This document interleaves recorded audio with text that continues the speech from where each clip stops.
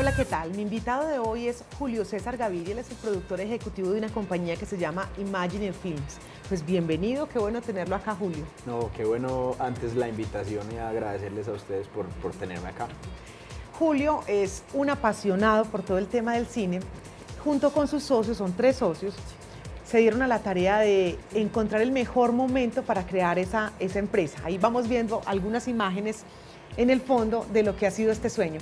Cuéntenos un poco la historia, Julio. Pues básicamente nosotros como apasionados del cine, que veníamos trabajando, digamos, en, televisión, porque en el país no había como mucha cabida y sobre todo en, lo local para, para, el tema cinematográfico.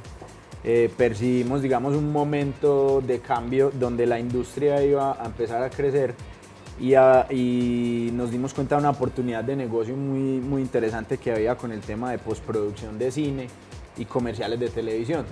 Y en nuestra ciudad no había una empresa que prestara esos servicios, digamos, para las producciones que, que, que venían de afuera, hacia Medellín, a hacer películas y a hacer comerciales de televisión.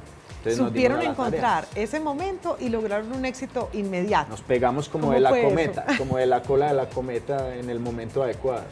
Cuéntenos un poco de ese éxito. ¿Qué han logrado hacer que ustedes en un momento dijeron, no, pues es que ojalá lo lográramos, pero no sabemos si realmente lo alcancemos y ya es una realidad?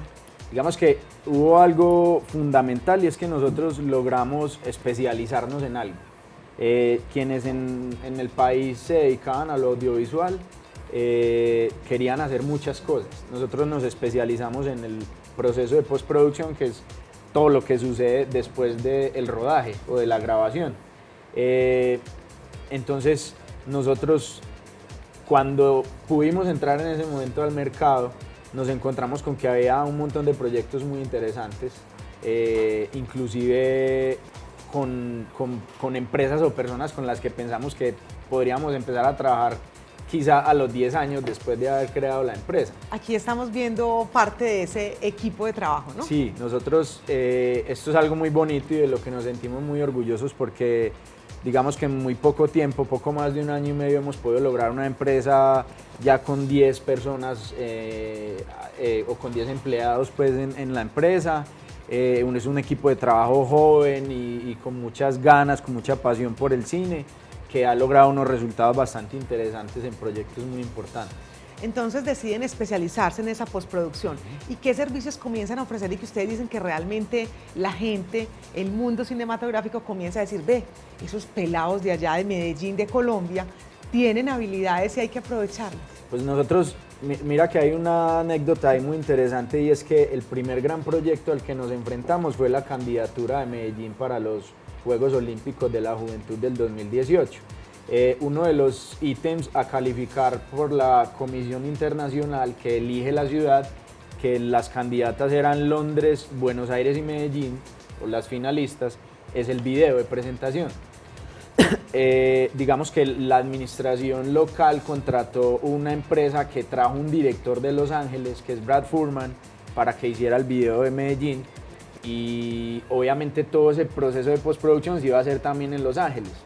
Nosotros dijimos que tan bueno que, que nosotros mismos contáramos esa historia y que nosotros eh, nos diéramos a la, a la, obligación de decirle al Comité Olímpico Internacional, Medellín puede ser la sede de los Olímpicos.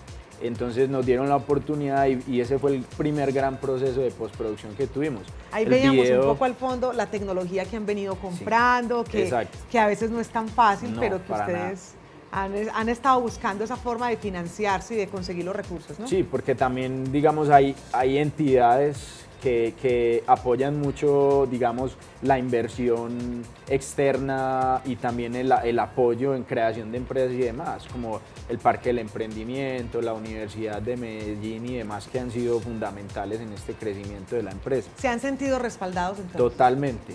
Eh, la ciudad ha respaldado muchísimo nuestra propuesta, nuestra iniciativa innovadora y sin duda eso ha sido, digamos, uno de los, de los eh, ingredientes importantes para el éxito que tiene la empresa hoy en día.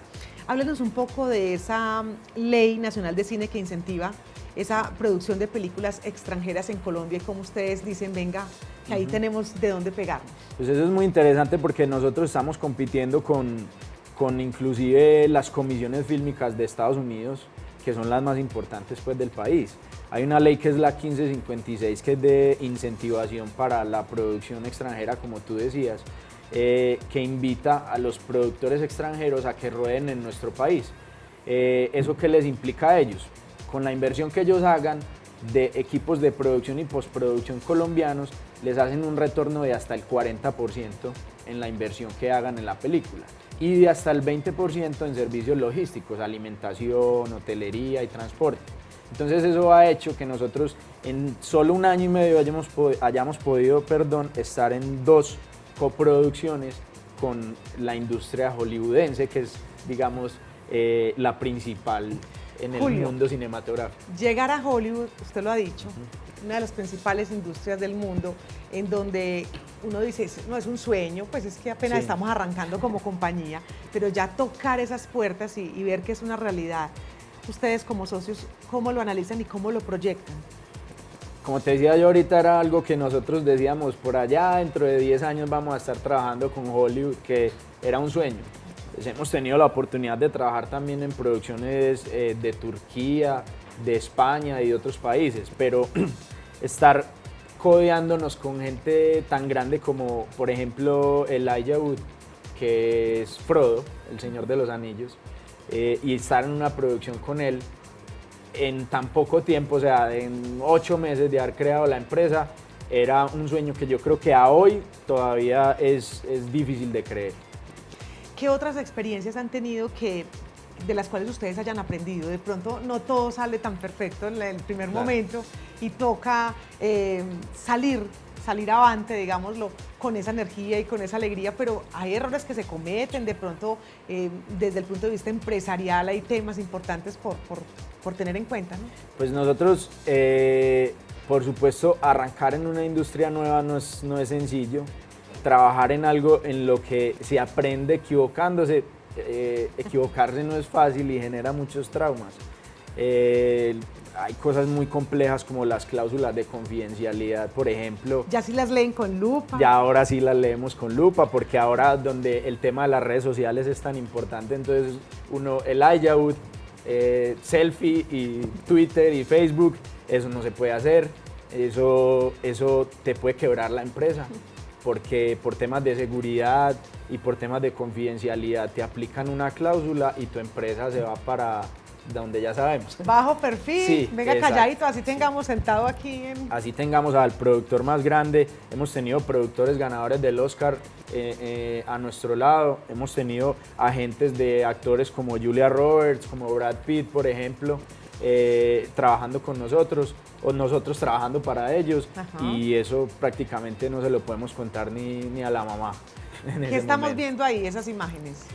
Eso digamos que es eh, un compendio de algunas de las producciones que nosotros hemos hecho. Eh, ahí hemos trabajado en comerciales para países como México, para la región de Nuevo León también para grandes compañías de nuestro país como, como Bancolombia, como Familia, que los comerciales de televisión los tenían que hacer obligatoriamente en otras ciudades como Bogotá, Buenos Aires y hasta en Los Ángeles.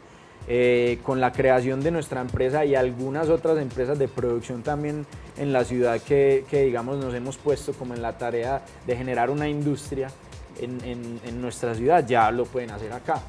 Qué bueno que lo menciona Julio porque eh, quizás algunos podrían decir, no, deje ese secreto bien, bien guardadito, que solamente usted sea el único que presta ese servicio, pero a la hora de la verdad, cuando hay varios, se crea esa competencia, también es la posibilidad de, la competencia o de cooperar y generar una industria. Claro, no, pues para nosotros ha sido fundamental contar con otras empresas que se han generado articuladamente en los procesos distintos a los que hacemos nosotros dentro de los mismos proyectos. Sea, empresas que hacen producción y como nosotros hacemos postproducción nos contratan y participamos en la misma película. Eh, eso en Medellín ha sido fundamental a nivel nacional e internacional también porque en el cine, eh, eh, como tú dices, los procesos, los procesos complementarios, el coworking, el networking es es fundamental. Julio, ya para finalizar, ¿cuáles son esos servicios que están prestando hoy y por los cuales hay compañías en el mundo que comienzan a observarlos? Nosotros, como te decía, eh, hacemos todo lo que pasa después del rodaje. ¿Qué es eso de colorización? Colorización, digamos que es algo complejo de explicar, pero cuando la imagen sale de la cámara, tiene un aspecto. Luego el director de fotografía y el director del proyecto quieren que eso tenga otra tonalidad, quieren que tenga otro look, otro aspecto. Nosotros tuvimos que ir a Cuba a especializarnos y a certificarnos para poder hacer eso, para poder venir acá a adquirir los software y los hardware necesarios para poder prestar ese servicio de colorización, que digamos que es como el toque final a lo que se ve en el comercial o en la película. Si está muy blanco y él quiere que se vea digamos, otro, una tonalidad azul o algo así que lo hace ver mucho más bonito. Si lo pensamos en redes sociales, como usted lo mencionó ahorita, cuando uno toma una foto en Instagram. El mejor ejemplo de todos, es eso. Es el mejor ejemplo lo acabas de dar tú. Es como en el Instagram, eh, solo que el proceso de colorización en video es muchísimo más complejo y como te decía, requería una certificación, una capacitación y nosotros. Imagínese soltarle una película, pues como para que haga un, un proceso aquí en Colombia. De verdad, Julio, que felicitaciones, qué bueno de verdad saber que tres jóvenes con esa pasión por el cine hacen realidad su sueño aquí en Colombia y sobre todo que están comenzando a mostrar que esa calidad los está transportando, digamos, a esos niveles cada vez más internacionales. Muchas gracias. No, de verdad que muchísimas gracias a ustedes por la invitación. Este es Negocios, ya regresamos.